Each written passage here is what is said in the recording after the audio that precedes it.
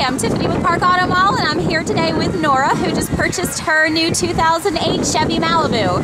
So, Nora, where'd you hear about us? I actually heard of you guys on the TV. Oh, very cool. And where'd you travel from today? I traveled all the way from St. Petersburg. Ooh, that's far. and how was your car buying experience with us today? It was wonderful, easy breezy. and Tiffany, oh, she's a riot. Ask for her. Oh, I thank you. No problem.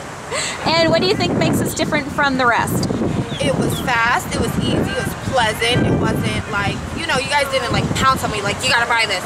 No, they were really nice and very uh, accommodating. They asked me if I would like for some to drink Very professional, very nice, very friendly, very uh, family-like. And you love your new car. and I love it. Look at it. Check it out. Check it out. Check Here, it out. I'll get a full view in a Wonderful, minute. great. and how likely would you refer friends, family members, or even come back yourself in the future? I would definitely come back or refer some. Oh, wonderful. Well, we'll be glad to uh, get them all a car. oh, say hi, Nasi. Hey! Hi!